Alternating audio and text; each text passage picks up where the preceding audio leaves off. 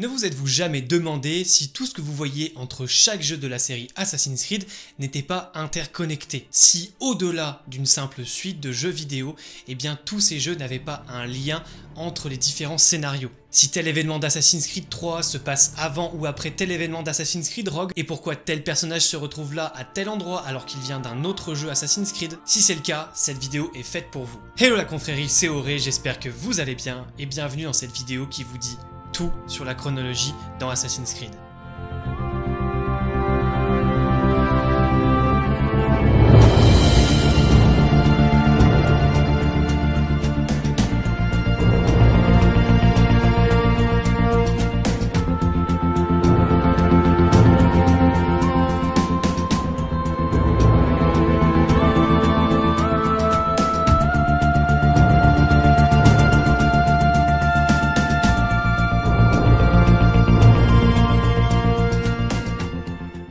Commencer cette vidéo, j'attire votre attention sur deux points. Le premier, et si vous ne l'avez pas remarqué, c'est la troisième vidéo d'une série qui a commencé il y a maintenant un an. Du coup, je vous recommande chaudement d'aller voir la première et la deuxième partie pour ne pas être complètement perdu dans la chronologie, ou encore pour que ce soit bien frais dans votre tête. Le deuxième point, c'est que ça va forcément spoiler sur Assassin's Creed Valhalla. Bon, les autres jeux, je les considère pas comme spoil parce que ça fait déjà un moment qu'ils sont sortis, mais pour Valhalla, attention, ça va spoiler la fin. Donc si vous n'avez pas terminé le jeu, revenez plus tard. Allez, on est parti et on retourne au 18e siècle.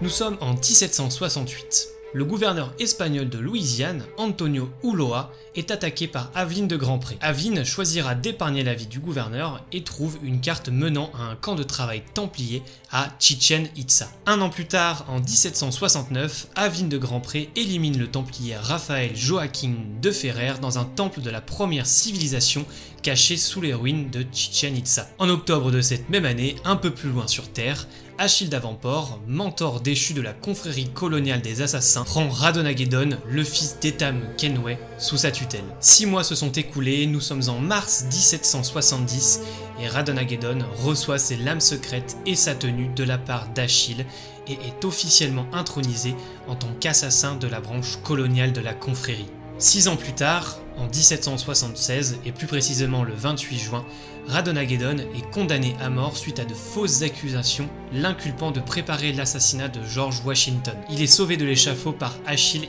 et Etam Kenway. En décembre de cette même année, l'assassin Charles d'Orient est tué par Shay Cormac au palais de Versailles. Le Templier récupère la boîte des précurseurs que possédait Charles. En 1777, le Templier George Davidson est tué par Aveline de Grandpré avec l'aide de Radonagedon. Aveline apprendra de la bouche de ce dernier que Madeleine de Lille, sa belle-mère, est elle aussi une partisane des Templiers. Madeleine sera assassinée par Aveline pendant son intronisation au sein de l'ordre des Templiers au cours de cette même année. En mars 1778, le Templier Benjamin Church est tué après avoir trahi l'ordre et volé des caisses militaires par Etam Kenway et Radonagedon qui ont formé une alliance pour l'arrêter. Trois mois plus tard, en juin, Radonagedon apprend de la part de son père que George Washington a orchestré l'attaque contre le village natal de Connor, attaque dans laquelle sa mère a péri des années plus tôt. En 1781, Etam Kenway est tué par son fils Radonagedon en tentant de protéger Charles Lee. Un an plus tard, Charles Lee est à son tour tué par Radonagedon qui a pourchassé l'homme à travers Boston et New York. Il en récupérera la clé du grand temple et la cachera au domaine d'Avantport. En 1784, le Templier et docteur Edmund Judge est assassiné par Aveline de Grandpré dans le but de recruter Patience Gibbs au sein de la confrérie coloniale dirigée par Radonagedon.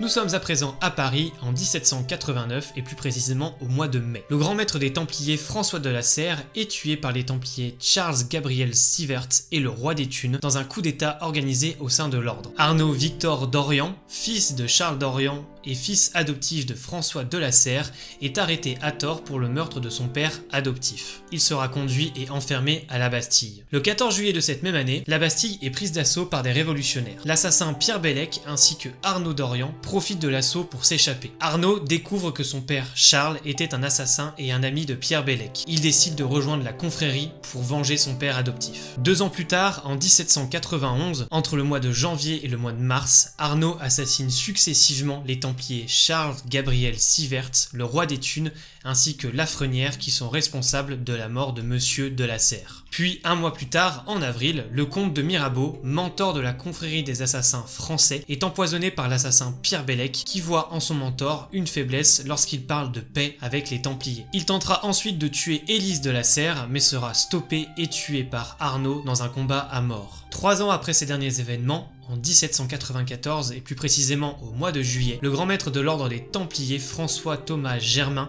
est assassiné par Arnaud d'Orient dans une crypte de la première civilisation sous le temple de Paris. Au cours du combat, Germain tuera Élise de la Serre à l'aide de l'épée d'Éden. Un mois plus tard, en août, Arnaud entre dans le temple de Saint-Denis et retrouve la tête de Saint-Denis, un objet d'Éden. Pourchassé par des pilleurs envoyés par Napoléon Bonaparte, Arnaud s'enfuira de la crypte. Il trouvera à l'intérieur de la tête de Saint-Denis une pomme d'Éden qu'il décidera d'envoyer à Al-Mualim au Caire, en Égypte.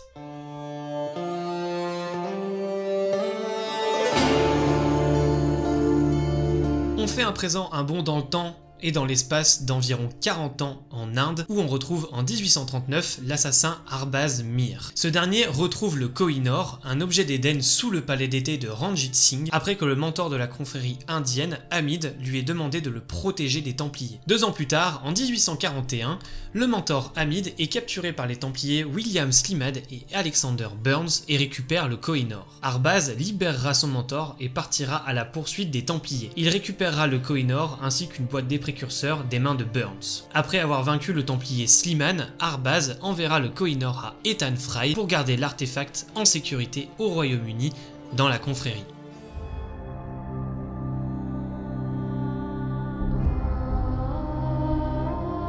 Nous sommes à présent à Londres en février 1868. L'assassin Evie Fry, fille de Ethan Fry, élimine le scientifique et templier Sir David Brewster dans son laboratoire alors que ce dernier mène des expériences sur une pomme d'Éden. Une surcharge d'énergie envoyée à la pomme créera une explosion dans le laboratoire. Les jumeaux et assassins Jacob et Evie Fry décident de partir pour Londres afin de reprendre le contrôle de la ville des mains des Templiers et du grand maître de l'ordre, Crawford Starrick. Sur place, feront la rencontre de Henry Green, fils de l'assassin Arbaz Mir. Ils bâtiront alors un groupe de résistance composé d'enfants de la rue, de la police, Charles Dickens, Alexander Bell, mais aussi des Rooks, le clan créé par Jacob afin de saper l'influence des Templiers sur la ville. Un mois plus tard, en mars, Evie et Henry Green trouveront une clé de la première civilisation et un document détaillant un nouvel objet d'Éden, le Suaire, dans le manoir Kenway, la demeure de l'assassin et pirate Edward Kenway. Evie trouvera une autre clé de la première civilisation cachée par Edward Kenway au sommet de la cathédrale Saint-Paul, mais elle la perdra au cours d'un combat avec la Templière Lucie Forne. Evie récupère la clé quelques temps plus tard après avoir assassiné Lucie dans la tour de Londres. Un peu plus tard, les jumeaux Fry infiltreront le palais de Buckingham Palace et stopperont avec succès une tentative d'assassinat organisée par Crawford Starrick visant la reine Victoria. Starrick retrouvera le suaire d'Eden qui lui permet de guérir ses blessures à une vitesse surhumaine. Mais il sera finalement assassiné par Jacob et Evie Fry lors d'un combat final sanglant. Toujours à Londres, mais 20 ans plus tard, en 1888, l'assassin anglais Jack développe une vision extrémiste du credo. Il prend le contrôle des Rooks au détriment de son mentor Jacob Fry grâce à l'aide de dangereux criminels notoires. De septembre à novembre, Jack élimine de nombreux assassins et blesse gravement Jacob, ce qui lui vaudra son surnom de Jack l'éventreur. En novembre, Evie Fry stoppera Jack quelques mois plus tard dans l'asile de Londres, mettant fin à son règne de terreur.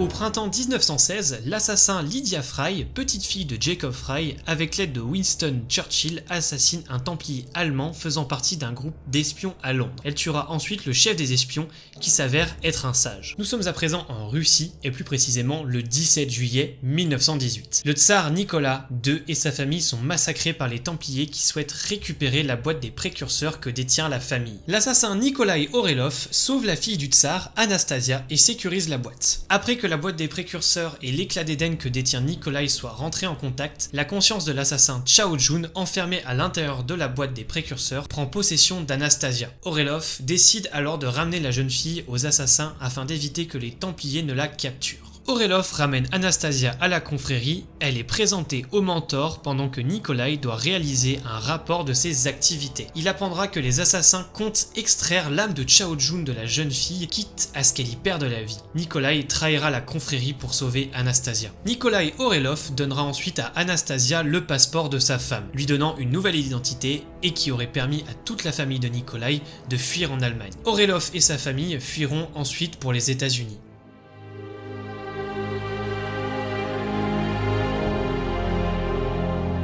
Nous sommes en 1986. Depuis le temps de la guerre, beaucoup d'eau a coulé sous les ponts. Une équipe d'Abstergo dirigée par Alan Rikin cherche à capturer la famille Lynch afin d'exploiter leur mémoire génétique pour localiser la pomme d'Éden d'Aguilar. Après que sa femme lui ait demandé de l'aider à se suicider, Joseph ordonne à son fils Kaloum de fuir. 20 ans plus tard et dans un tout autre contexte, en 2006, Leila Nassan, une jeune diplômée de l'université de Berkeley, est recrutée par Sofia Rikin à Abstergo dans le programme des jeunes inventeurs de la société. Six ans plus tard, en 2012, le 1er septembre, Desmond Miles est kidnappé par des agents d'Abstergo à New York et est emmené en Italie dans un campus de la société. Sept jours plus tard, le 8 septembre, Desmond et Lucy Stillman s'échappent du campus après que Desmond ait révélé toutes les mémoires de son ancêtre dans l'Animus, Altair Ibn Lahad. Ils arrivent dans une planque des assassins à Rome et Desmond fait la rencontre de Sean Hastings et de Rebecca Crane. Desmond commence alors à explorer les mémoires d'un de ses nouveaux ancêtres, Ezio Auditore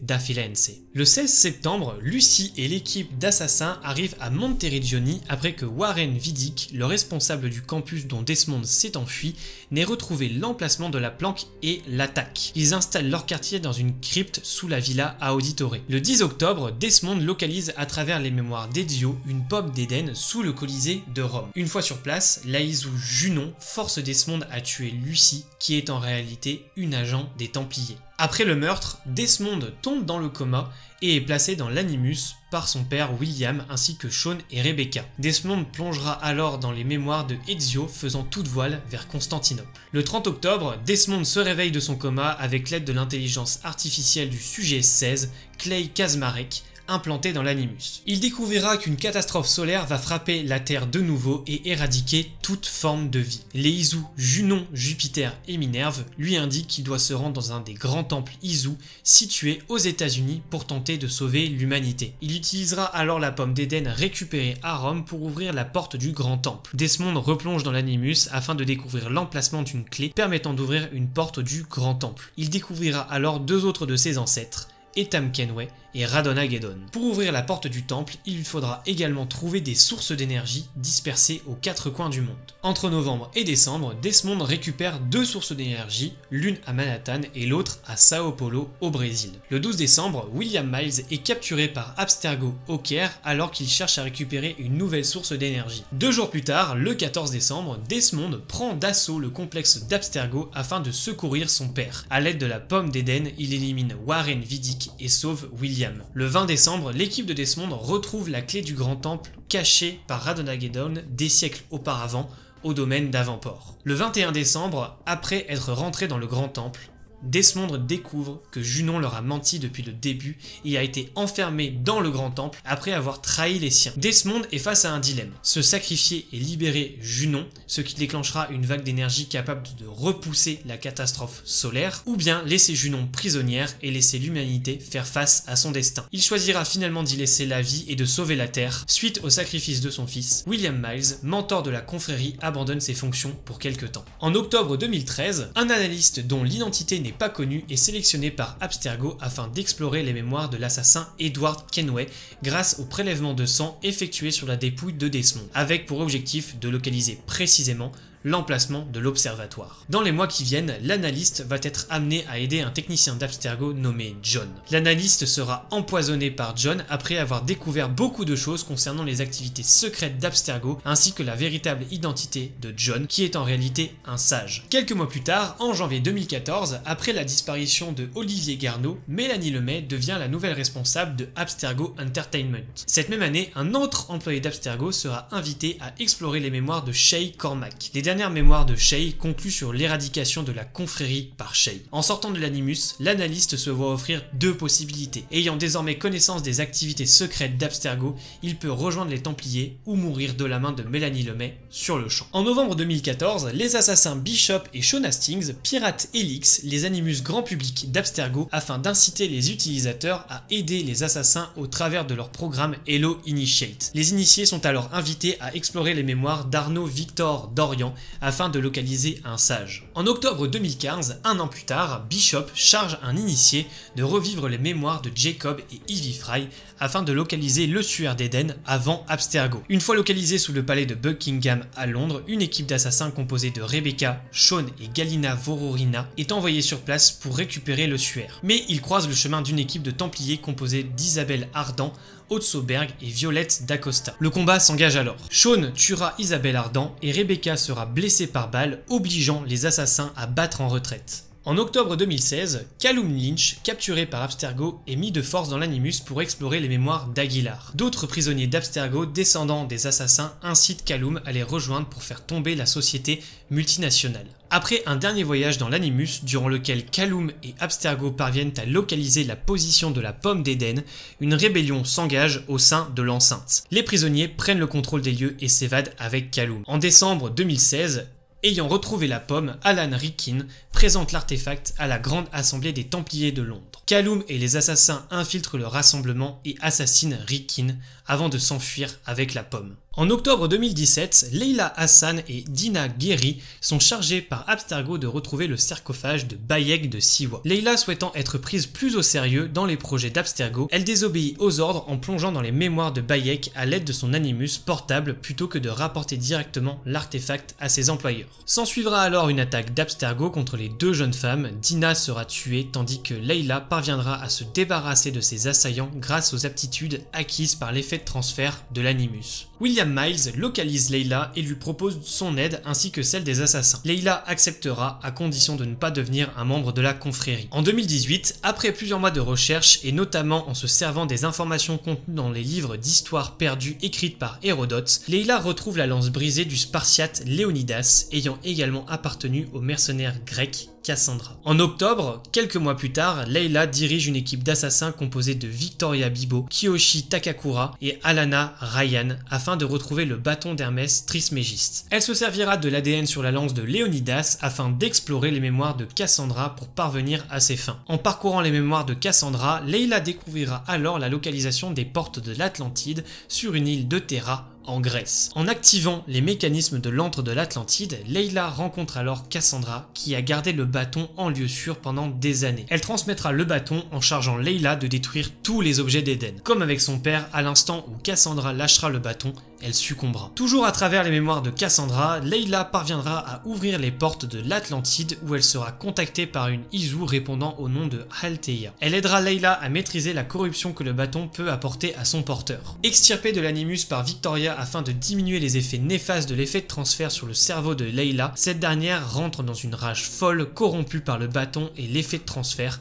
menant à la mort accidentelle de Victoria. Un peu plus tard, Leila est surprise par une équipe d'Abstergo menée par Otsoberg. S'engage alors un combat durant lequel Berg est vaincu, transperçant la colonne vertébrale de Berg, le rendant infirme. Elle demande alors une extraction de l'Altaïr II, le navire servant de base à la confrérie des assassins. Elle laissera le Templier pour mort. En mai 2020, suite aux incidents de l'Atlantide, Leila a été réaffectée à une cellule d'assassins composée de Sean Hastings et Rebecca Crane. Ces derniers, ayant déjà observé l'effet de transfert sur Desmond, étaient les plus aptes à maintenir Leila dans un état stable. Quelques mois plus tard, les assassins constatent que la Terre court à nouveau à sa perte. Lorsque Desmond s'est sacrifié en 2012 pour sauver la planète, une énorme masse d'éjection coronale s'est déployée pour parer l'éruption solaire imminente. Mais cette masse a fait augmenter de façon constante le champ magnétique de la Terre, créant une immense aurore boréale autour de celle-ci. Dans ce contexte, les assassins reçoivent un message dont l'auteur reste un mystère, promettant une solution à ce problème en rejoignant les coordonnées indiquées dans le même message. L'équipe de Leila est dépêchée sur place en Angleterre où ils trouvent une tombe viking.